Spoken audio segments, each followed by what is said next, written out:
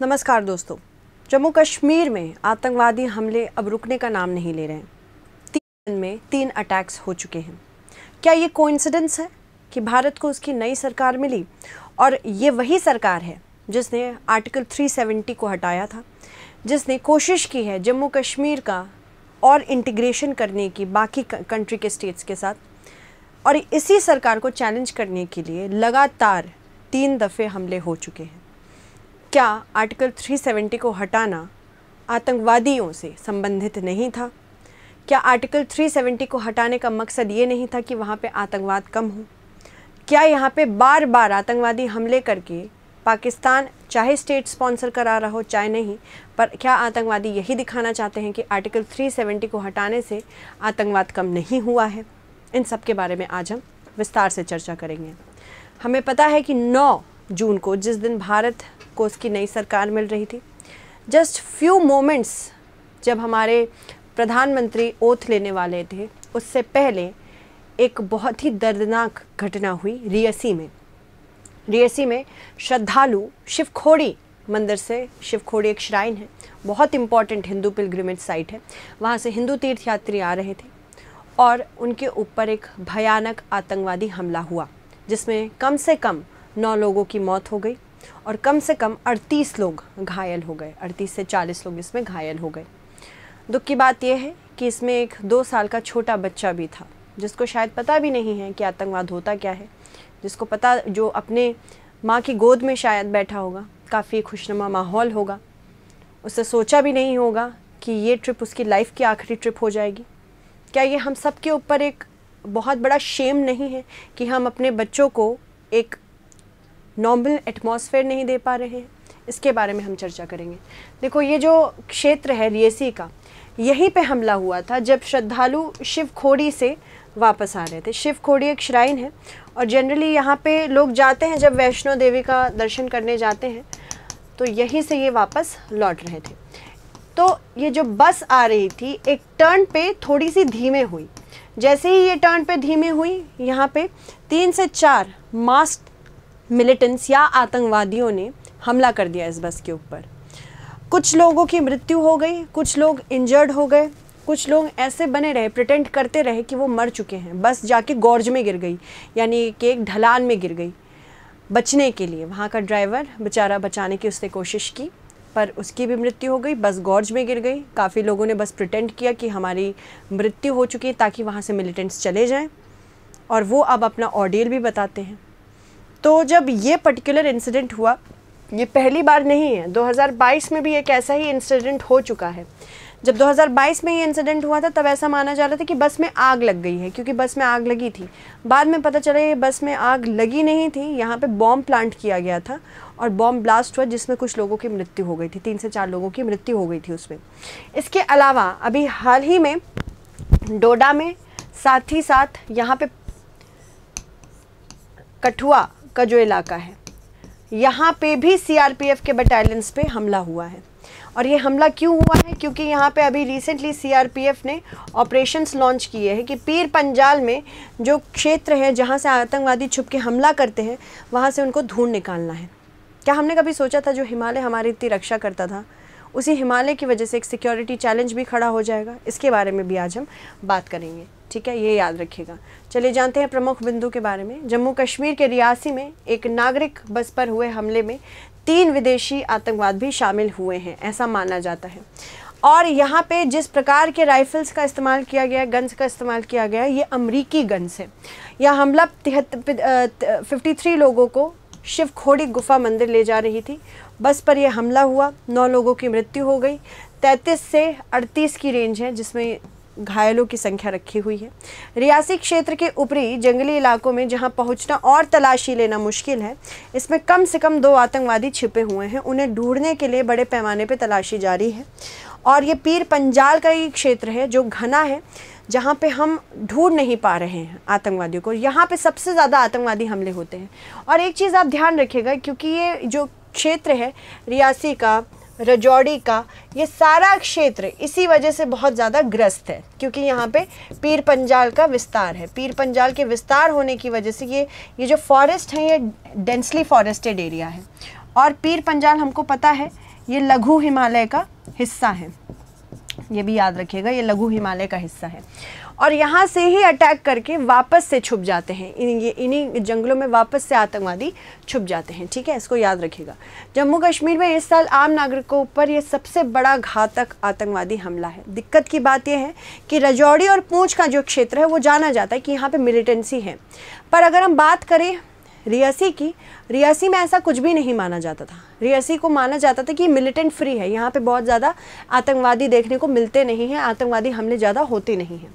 अब वैष्णो देवी के बारे में बात करते हैं, क्योंकि हिंदू पिलग्रमेज साइट है और यहाँ करोड़ों लोग हर साल जाते हैं। अगर हम अपने पिलग्रिम्स की नहीं रक्षा कर सकते तो फिर क्या ही कर सकते? हैं इनके बारे में जानते हैं। वैष्णो दे, देवी का विश्व प्रसिद्ध और प्राचीन मंदिर भारतीय राज्य जम्मू कश्मीर के रियासी मंडल में कटरा नगर में स्थित है। तो ये कटरा का जो क्षेत्र है यहाँ पे वैष्णो देवी का मंदिर मौजूद है। ठीक है? इन पहाड़ियों को त्रिकुटी पहाड़ियाँ कहा जाता है त्रिकुटा पहाड़ी कहा जाता है ये भी याद रखना है त्रिकुटा है। यहीं पर लगभग 5200 फीट की ऊंचाई पर वैष्णो देवी स्थित है। मान्यता के अनुसार माँ शक्ति दुर्गा स्वरूप माँ वैष्णो देवी जिन्हें त्रिकुटा और वैष्णवी नाम से भी जाना जाता है देवी को समर्पित मुख्य पवित्रम हिंदू मंदिरों में से एक है। यह धार्मिक स्थल की आराध्या देवी, वैष्णो देवी का सामान्यता माता रानी, वैष्णवी, दुर्गा तथा शेरा वाली माता जैसे अनेक नाम हैं। साथ ही साथ वेद पुराणों के हिसाब से मंदिर 108 शक्तिपीठ में भी शामिल है। भारत में तिरुमला वेंकटेश्वर मंदिर के बाद दूसरा सबसे देखा जाने वाला धार्मिक तीर्थ यही स्थल है। तो ये याद रखिएगा, क्योंकि क्वेश्चन इससे बन सकते हैं। अदर दैन दैट हर वर्ष देश भर से एक करोड़ से अधिक तीर्थयात्री कटरा पहुँचते हैं माता रानी के दर्शन के लिए। इसके अलावा पूरा कटरा शहर बहुत सारे होटलों से इसीलिए डॉटेड है, क्योंकि यहाँ पे इंडस्ट्री भी इनकी टूरिज़्म से ही बनी हुई है। माता के दर्शन करने के लिए लोग लगभग चौदह किलोमीटर की चढ़ाई करते हैं और भवन तक पहुँचते हैं। ठीक है? और यहीं इसी दौरान जब वो जाते हैं तो शिव खोरी की जो श्राइन है, उसको भी ये दर्शन करते हैं। यहीं शिवखोरी की श्राइन से ही वापस लौट रहे थे तीर्थयात्री जब इन पर हमला हुआ। रियासी, जम्मू और कश्मीर केंद्र शासित प्रदेश में आठ नए बनाए गए जिलों में से एक है। एक जिला है जिसको बनाया गया था, जो एक अप्रैल 2007 से अस्तित्व में आया है। इस यह मुख्य रूप से एक पहाड़ी जिला है। पहाड़ी है और बहुत सारे जंगल भी हैं इसमें। रियासी में कई ऐतिहासिक स्थान भी हैं जो सांस्कृतिक और धार्मिक महत्व रखते हैं। श्री माता वैष्णो देवी, तीर्थ शिव खोड़ी गुफा मंदिर और श्री बाबा अगार जित्तो जी की भी यहाँ पे श्राइन्स माने जाते हैं। हिंदू बहुल जम्मू क्षेत्र में धार्मिक पर्यटन की बात आती है तो रियासी जिला शीर्ष पे है। रणसू स्थित शिव खोड़ी मंदिर में प्रतिवर्ष 20 लाख लोग आते हैं। जम्मू कश्मीर में उग्रवाद अभी भी कंट्रोल में। काफ़ी तो आ गया है पहले से, पर जिस स्तर पे हम इसे ले जाना चाहते हैं यहाँ उग्रवाद अभी भी चल रहा है। पाकिस्तान ने शुरू से ही जम्मू कश्मीर क्षेत्र को सीधे सैन्य टकराव के ज़रिए अस्थिर करने की कोशिश की है। जब हम बात करें जम्मू कश्मीर को अलग किया गया था, उस उसकी जो स्थिति थी, पूरी तरह से हमको परिपूर्ण रूप से पता नहीं थी कि ये पाकिस्तान में जुड़ेगा कि भारत में जुड़ेगा, क्योंकि यहाँ के राजा हिंदू थे, पर जो आबादी थी, बहु यहाँ की सबसे मेजॉरिटी पॉपुलेशन जो थी, वो मुसलमानों की थी। तो यहाँ पर रेफरेंडम होने वाला था। बट जम्मू कश्मीर में रेफरेंडम होने के पहले ही पाकिस्तानी पश्तून ट्राइब्स ने यहाँ पे हमला कर दिया, जिसकी वजह से काफ़ी बड़ा एरिया जम्मू कश्मीर का पाकिस्तानियों ने अवैध रूप से अपनी कब्जियत में ले लिया। उन्नीस सौ पैंसठ और इकहत्तर के हर युद्ध में पाकिस्तान को भारी नुकसान उठाना पड़ा। मतलब ये जानते हैं कि हम युद्ध में तो नहीं जीत सकते हैं भारत से। तो ये क्या करते हैं? ये जो टेररिस्ट हैं, उनको अपने स्ट्रेटिजिक असेट्स की तरह यूज़ करते हैं। तो ये याद रखना है कि स्ट्रेटिजिक असेट्स की तरह प्रयोग किया जाता है। किनको? जो भी इनके सारे संगठन हैं, लश्कर तोयबा, अलकायदा, जैश मोहम्मद अगर वो सोचते हैं कि हम पूर्ण रूप से एक फुल फ्लेजेड वॉर में नहीं जीत सकते तो यहाँ आतंकवादी आतंकवादियों से अपनी इस इच्छा को पूरी कर सकते हैं कि कल के दिन भारत अगर कश्मीर रखता भी है तो चैन से ना जी पाए। उन्नीस सौ इकहत्तर के युद्ध में पाकिस्तान को इसलिए अपमानित होना पड़ा क्योंकि पूर्वी पाकिस्तान को एक अलग राष्ट्र बना दिया गया, जिसमें भारत की अहम भूमिका थी। इन सभी सैन्य टकरावों के बाद पाकिस्तान को यह एहसास हो गया कि भारत के साथ सीधे सैन्य युद्ध में ये नहीं जीत पा सकते हैं। पाकिस्तान ने कम तीव्रता वाले युद्ध की रणनीति अपनाई और जिहाद के नाम पर 1980 के दशक के अंत में कश्मीर में अलगाववादी और उग्रवादी विद्रोह शुरू किए। जम्मू कश्मीर लिबरेशन फ्रंट मतलब बेसिकली जम्मू कश्मीर को भारत से अलग करने का ये पूरा प्रावधान बनाता है। नामक कश्मीरियों के एक असंतुष्ट समूह के अस्तित्व का इस्तेमाल पाकिस्तान के उग्रवाद के लिए किया गया। ये चाहते तो थे भारत से अलग होना, पर पाकिस्तान ने इनको उग्रवादी बना दिया कि भारत में रह के अब भारत को परेशान करिए। यासिन मलिक, जे जे के एल एफ़ का एक नेता था। जिसने कश्मीर में उग्रवाद को संगठित किया, इसने हर प्रयास किया कि किस प्रकार से भारत के खिलाफ जितना नैरेटिव बन सके जम्मू कश्मीर में, उतना बने। यहाँ पे सैनिकों के ऊपर हमले के साथ साथ मदरसों में भी बच्चों को जिहाद पढ़ाया जाता था उसके अंतर्गत। साथ ही साथ यहाँ पे मस्जिदों का गलत प्रयोग किया जाता था। जिस प्रकार से स्पीकर्स पे किन किन दिनों पे क्या क्या होना चाहिए किस प्रकार का उग्रवाद दिखाना चाहिए, सारी चीज़ें होती थी। इसमें बहुत बड़ा हाथ यासिन मलिक का रहा है, ठीक है? और जम्मू कश्मीर की आज़ादी की मांग की, लेकिन बाद में यासिन मलिक ने हिंसा के रास्ते की निंदा की। जो पहले हिंसक हुआ, बाद में इसने बोला, हम हिंसा की निंदा करते हैं। और विवाद को सुलझाने के लिए शांति वार्ता में भी विश्वास किया। लेकिन पाकिस्तानी खुफिया एजेंसी आईएसआई जो है, इसकी मदद से सीमा के रास्ते से घुसपैठ के कारण घाटी में नए आतंकवादी संगठन स्थापित होने लगे, जैसे हिजबुल मुजाहिदीन तोयबा। मोहम्मद जैश मोहम्मद ठीक है ये ज़्यादातर जो आ, संगठन है भारत में इनको टेररिस्ट ऑर्गेनाइजेशन का नाम दिया गया है। और यही आतंकवादी संगठन है जो लगातार हमले कराता जा रहा है। जम्मू और कश्मीर क्षेत्र में आतंकवादी संगठनों के वित्त पोषण और प्रशिक्षण में पाकिस्तान की प्रत्यक्ष या अप्रत्यक्ष भागीदारी रही है। दिक्कत यह है कि अभी रिसेंटली हमने डिसाइड किया था कि हम पाकिस्तान के प्राइम मिनिस्टर को नहीं बुलाएँगे अपने ओथ सेरेमनी में। रीज़न क्या रहा? क्योंकि पाकिस्तान के जो प्राइम मिनिस्टर हैं, वो सच में डेमोक्रेटिक है नहीं। हमें पता है वहाँ पे पावर मिलिट्री के पास है।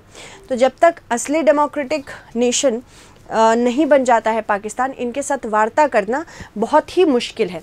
विकास की कमी की वजह से क्षेत्र के सैनिकरण की वजह से उन्नीस सौ सत्तासी के विवादित राज्य चुनाव ने घाटी में उग्रवाद को और बढ़ावा दिया, जिसके कारण राज्य के कुछ विधायकों के को सशस्त्र विद्रोही समूह बनाने के लिए भी मजबूर होना पड़ा। कश्मीर की वर्तमान स्थिति दोनों कारकों, आंतरिक एवं बाहरी के कारण है। विकास की कमी है यहाँ पे, जहाँ पे बच्चों को 500-600 रुपए में पत्थर थमा दिया जाता है कि पत्थरबाजी करो। इसके अलावा शिक्षा की कमी है और बेरोज़गारी ने कश्मीरी युवाओं को आतंकवादी समूह के लिए आसान शिकार बना दिया। तो जहाँ पे इकोनॉमिक वैक्यूम है फॉर श्योर sure है कि वहाँ कभी ना कभी रेडिकलाइजेशन आएगा ही आएगा। अफजल गुरु की फांसी के दौरान युवाओं ने का विरोध, आतंकवाद, बुरहानवानी के लिए सहानुभूति रैली, यह दर्शाता है कि कश्मीर क्षेत्र में कितने व्यापक तौर से ये कट्टरपंथ पहुँच चुका है। इनफैक्ट हमारी यूनिवर्सिटीज़ के थ्रू भी ऐसे उग्रवादियों को भेजा जाता है। जिन यूनिवर्सिटीज़ का वित्त पोषण गवर्नमेंट ऑफ़ इंडिया गवर्नमेंट को सर्व करने के लिए कंट्री को सर्व करने के लिए करती है। 2019 से पहले के चार वर्षों में आतंकवादी घटनाओं की संख्या 760 से अधिक थी। उसके बाद अगर चार वर्षों की बात करें, ये साढ़े चार सौ हो गई। अगस्त 2000 बाद के बाद के बाद से चार वर्ष में सुरक्षा बलों पर हमले 600 से घटकर लगभग 300 रह गए हैं। तो यहाँ डेटा झूठ नहीं बोलता है। बट हाँ जितने व्यापक तौर से हम इसे मिनिमाइज करना चाह रहे वो नहीं हो पा रहा है। 2019 को इसलिए लिया क्योंकि इसी समय हमने एब्रोगेशन ऑफ़ आर्टिकल 370 किया था। यानी कि आर्टिकल धारा 370 जो कि एक संवैधानिक पर टेम्प्ररी प्रावधान था कि जम्मू कश्मीर का अलग विधान, अलग प्रधान होगा, अलग तरह से ये चलेगा, खुद के अपने रूल्स एंड रेगुलेशंस के थ्रू चलेगा, ये हटा दिया गया। क्यों? क्योंकि भारत भाई एक संप्रभुता को दिमाग में रखता है और ये टेम्प्रेरी प्रोविज़न था। जब 370 हटाया गया, दिमाग में यही था कि ये भारत का है, भारत का हिस्सा है। तो भारत यहाँ कुछ भी कर सकता है। इस बीच नागरिकों के खिलाफ लक्षित हमले चिंता का विषय बने हुए थे। क्योंकि 2019 में हमने जब एब्रोगेशन किया तो हम चाहते थे कि बाकी सारे स्टेट से भी लोग यहाँ आके एक दूसरे के साथ मिश्रित हों। एक प्रेम का भाव भाव बढ़े, पर वहाँ पर उन लोगों को रहने नहीं दिया जाता। वहाँ पे आतंकवादी हमले इनफैक्ट सिविलियंस पे भी होते हैं। यहाँ से कोई मजदूर वहाँ काम करने जाता है उसमें भी हमले होते हैं। देखो fewer injuries fewer injuries deaths among security forces अगर हम कंपेयर करें 52 मंथ्स बिफोर जब हमने एब्रिगेशन किया था आर्टिकल 370 का, जब जम्मू कश्मीर को स्टेट हुड से हटा के हमने केंद्र शासित प्रदेश कर दिया था, अगस्त पाँच, दो हज़ार उन्नीस fifty two months after August five two thousand nineteen तो यहाँ पे टेररिस्ट इनिशिएटेड इंसिडेंट्स यानी कि आतंकवादी जो हमला शुरू करते हैं। अटैक्स ऑन सिविलियंस 193 से 156 हो गए। सिविलियन कैजुअलिटीज़ दो सौ चौंतीस से इकतीस हो गई। सिविलियन इंजरीज 1300 से घटकर 422 हो गई। एनकाउंटर 390 से घटकर 338 हो गए। सिक्योरिटी फोर्सेस को जो चोट लगी है, एक हज़ार अट्ठानवे से 334 और यहाँ पे डेटा झूठ नहीं बोलता है बेटा। डेटा इज़ इंपॉर्टेंट इसीलिए मैं कहती हूँ कि कंटिन्यूसली क्लासेस करिए हमारी। जो पीर पंजाल का क्षेत्र है, ये लघु हिमालय का पार्ट है। लघु हिमालय। और यहाँ दिक्कत ये है कि व्यापक तौर से ये आज़ाद कश्मीर का जो क्षेत्र है, यहाँ पे भी फैला हुआ है, जहाँ से पाकिस्तान से मिलिटेंट्स पीर पंजाल के क्षेत्र में आके भारत भारत में स्पेसिफिक एरियाज़ में जैसे कि पूंछ, रजौरी, ये सारे एरियाज़ में आके अपना स्ट्रॉन्ग होल्ड बना चुके हैं। इन्हीं जंगलों में वो घुसे रहते हैं, यहाँ से अटैक करते हैं और वापस चले जाते हैं। तो यहाँ पे पीर पंजाल बहुत बड़ी एक चुनौती बन चुका है। पीर पंजाल हिमालयस का बहुत इंपॉर्टेंट एरिया है और यहाँ पे पीर पंजाल क्षेत्र में सिक्योरिटी फोर्सेस का ऑपरेशन करना बहुत मुश्किल होता जा रहा है। पीर पंजाल क्षेत्र के बाकी हिस्सों की तरह ही यह इलाका भी पहाड़ी और खतरनाक है, रियासी का क्षेत्र, जहाँ घने जंगल आमतौर पर हमलावरों के पक्ष में ही काम करते हैं, क्योंकि यहाँ से हमला करके छुप जाना बहुत आसान होता है। 2021 से जम्मू के पीर पंजाल क्षेत्र के रजौरी और पूछ जिलों में आतंकवादी द्वारा कई सटीक हमले किए गए हैं। और इसी के परिणाम स्वरूप हमने क्या देखा है? सुरक्षा बलों को भारी नुकसान हुआ है।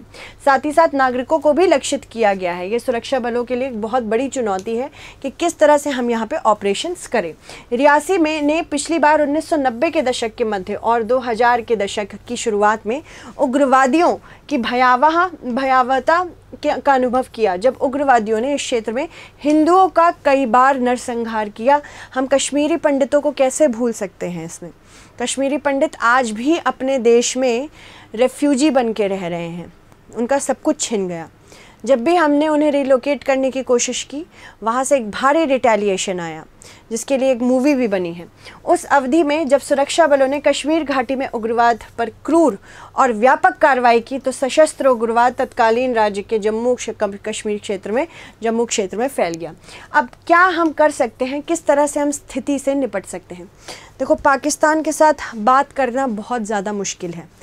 क्यों? क्योंकि मिलिट्री कभी नहीं चाहती है। कि कश्मीर का मुद्दा सुलझे। वहाँ पे असली पावर मिलिट्री के हाथ में है। ये जो प्राइम मिनिस्टर्स हैं, सब दिखावा है। यहाँ पे मिलिट्री इतनी पावरफुल है कि वो तख्ता पलट बहुत आसानी से कर सकती, जिसमें मुशर्रफ के बारे में तो आपने सुना ही होगा। मिलिट्री कभी नहीं चाहेगी कि कश्मीर का मुद्दा हल हो। रीज़न? मिलिट्री को अगर, वहाँ की आर्मी को अगर अपना रेलेवेंस बना के रखना है तो वहाँ पे पाकिस्तानियों के दिमाग में उनकी नीड या मिलिट्री की पाकिस्तानियों को क्यों ज़रूरत है वो बरकरार रखनी है। इसके लिए भारत हमेशा दुश्मन बरकरार रहना चाहिए। और भारत कैसे दुश्मन बनेगा? अगर कश्मीर मुद्दा ज़िंदा रहेगा। तो कश्मीर मुद्दा कभी नहीं सुलझ सकता जब तक वहाँ पे एक डेमोक्रेटिक अलाइड गवर्नमेंट ना आ जाए। एक्चुअली गवर्नमेंट जो हाँ वहाँ पे आ रही है, अगर लोकतंत्र के मुताबिक नहीं आ रही है, तब तक वहाँ पे कश्मीर मुद्दा बातचीत से तो नहीं सुलझने वाला है। और ये सरकार ये बात समझ चुकी है। ठीक है? अदर दिस नियंत्रण रेखा के पार से क्षेत्र में घुसपैठ करने के बाद आतंकवादी पारंपरिक रूप से क्षेत्र में दो या तीन दिन से अधिक नहीं रुकते हैं। उसके बाद वे पीर पंजाल पर्वतमाला को पार करके दक्षिण कश्मीर के शोपियन में प्रवेश कर जाते हैं। ऑपरेशन ऑल आउट या घाटी में शांति स्थापित करने के लिए सरकार द्वारा शुरू किया गया आतंकवाद विरोधी अभियान है। इसमें विभिन्न आतंकवादियों को शॉर्टलिस्ट किया गया है और उनकी जानकारी एवं स्थान सुरक्षा बलों को दिए गए ताकि उन्हें कश्मीर से निकाला जा सके। 14 फरवरी 2019 को हम कैसे भूल सकते हैं? जब हमने 40 जवान अपने खोए थे। आपको याद भी होगा, इसे काला दिवस के रूप में माना जाता है। जब यहाँ पे पुलवामा हमले हुए थे, तब बस में 40 से अधिक लोगों की 40 से अधिक जवानों की मृत्यु हो गई थी, जो कॉफिन्स थे, जो बॉक्सेस आए थे, उसमें बॉडीज़ ही नहीं थी। कुछ देने के लिए था ही नहीं, क्योंकि ब्लास्ट हुआ था। तो जब हम बुरहान वानी की बॉडी वापस कर सकते हैं। तो आप समझ ही सकते हैं कि कितना बड़ा गैप है। पुरानवानी की बॉडी आपको क्या लगता है कि जब अमेरिका ने अलकायदा के बहुत इंपॉर्टेंट सिग्निफिकेंट आइकॉन उस मारा आ, को मारा था। आप समझ ही गए होंगे मैं किसकी बात कर रही हूँ। ओसामा बिन लादेन की बात कर रही हूँ। तो ओसामा बिन लादेन को अरे अरब सागर में दफनाया गया है। तो रीज़न इसके पीछे का क्या है कि अरब सागर में उन्हें क्यों दफ, उसे क्यों दफनाया गया? क्योंकि अमेरिका को पता था कि अगर वो किसी अलग मज़ार में दफनाएगा तो वहाँ पे आतंकवादी संगठन के लोग और साथ साथ जो ओसामा को भगवान मानते हैं उसको मजार बना लेंगे। इसी वजह से यहाँ पे अरब सागर में उसको दफनाया गया। और यहाँ पे जब बुरहान वानी की बॉडी वापस की गई तो एक तरह से शहादत मिलने की बात कर रहे थे। ठीक है? तो इसीलिए ध्यान रखिएगा, ये सारी चीज़ें बहुत सिंबॉलिक होती है। इस हमले के बाद भारतीय वायुसेना ने बालाकोट एयर स्ट्राइक किया था, वो भी आपको याद ही होगा, जिसमें हमले में कई शिविर, जो आतंकवादी संगठन के शिविर बनते थे, वहाँ पे उनके ऊपर अटैक्स हुए थे। इतने बड़े स्तर पर जवाबी हमले की यह नीति आतंकवादियों के लिए निवारक का काम कर रही है। सुरक्षा के संदर्भ में उग्रवाद का अर्थ है कि अपनी विचारधारा का प्रचार करने के लिए अवैध और हिंसक तरीके को अपनाना तो इनको उग्रवादी कहा जाता है। उग्रवाद आतंकवादी अलग अलग लक्ष्यों और उद्देश्यों से प्रेरित होते हैं। सितंबर 2005 में संयुक्त राष्ट्र महासचिव द्वारा प्रस्तावित जो आतंकवाद की परिभाषा को फ्रांस ने स्वीकार इसको स्वीकृति दे दी गई थी। यहाँ पे अगर आपकी विचारधारा आपको लगता है सही है तो आप अवैध रूप से उसका प्रचार करेंगे। उनके अनुसार आतंकवाद क्या होता है, किसी भी एक ऐसी कार्रवाई को कहते हैं, जिसका उद्देश्य नागरिकों और गैर लड़ाकों को घायल करना या मारना हो, ताकि किसी आबादी, सरकार या संगठन को डराकर उन्हें अपराधियों के खिलाफ कार्रवाई करने के लिए उकसाया जा सके या इसके विपरीत उन्हें ऐसा करने से रोका जा सके। अमेरिका, कनाडा, ब्रिटेन और ऑस्ट्रेलिया जैसे कुछ देशों के कानून में आतंकवादी कृत्य के पीछे राजनीतिक, धार्मिक और वैचारिक उद्देश्य को बढ़ावा देने की मंशा बताइए। मतलब आप चाहे राजनीतिक तौर से करें, धार्मिक से करें, वैचारिक तौर से करें, पर अगर आप ऐसा काम कर रहे हैं तो आप आतंकवादी कहलाए जा सकते हैं। समूह, कैसे लोग मतलब किस तरह के समूह या किस तरह के इंडिविजुअल्स को आतंकवादी कहा जा सकता है? जातीय राष्ट्रवादी आतंकवाद, धार्मिक आतंकवाद होता है, वामपंथी आतंकवाद होता है, दक्षिणपंथी आतंकवाद, राज्य प्रयोजित आतंकवाद, साइबर आतंकवाद, शहरी आतंकवाद आदि। चलो मेंस क्वेश्चन देख लो, आतंकवाद क्या है? आतंकवाद भारत की राष्ट्रीय सुरक्षा को कैसे प्रभावित करता है? ठीक है? तो इससे रिलेटेड ये मेन्स क्वेश्चन आ सकता है, जो आप सॉल्व करने की कोशिश करेगा आई होप आपको क्लास समझ में आई हो and I hope as a नागरिक आप ये क्लासेस फॉलो करके शेयर भी करें लोगों के साथ। Thank you so much everyone stay updated